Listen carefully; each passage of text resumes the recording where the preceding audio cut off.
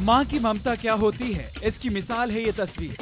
ये नन्हा मेमना अपनी माँ को खो चुका था, लेकिन जल्द ही इस मेमने को उसकी माँ मिल गई। दक्षिण ऑस्ट्रेलिया के बारोसा में इस मेमने ने तीन दिन पहले ही जन्म लिया है, लेकिन इसकी माँ ने इसे ठुकरा दिया था। मेमने की नई माँ डालमेशियन नस्ल की है। इस मेमने की उम्र ज़्यादा नहीं है, इसलिए उसे बोतल से दूध पिलाया जा रहा है। मेमने के लिए नाम भी सोचा जा रहा